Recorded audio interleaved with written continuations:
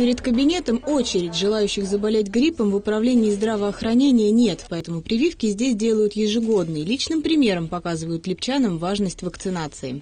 Спрос прививки у нас из года в год увеличивается, это очень хорошо.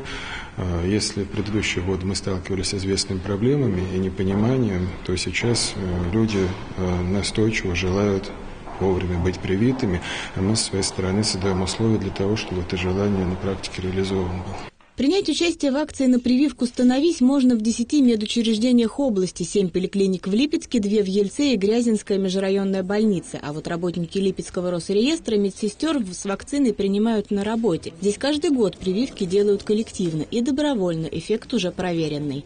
Вся семья у меня прививается, я прививаюсь, болеем намного реже, я замечал неоднократно.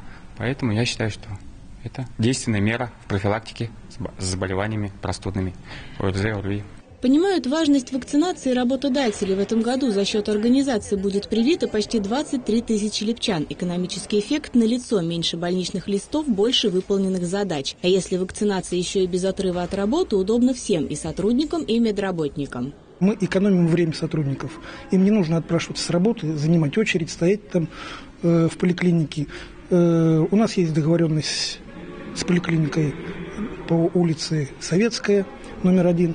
Значит, один раз в год мы приглашаем их и централизованно проводим вакцинацию. Продлится акция на прививку «Становись» до 3 ноября. Привить планируют около двух тысяч лепчан. Кроме того, все желающие могут пройти вакцинацию в любой поликлинике региона. Прививки от гриппа уже сделали почти 260 тысяч жителей области, а всего в этом году медики региона планируют защитить от гриппа около полумиллиона человек. Екатерина Кузьмичева, Андрей Зубков, Липецкое время.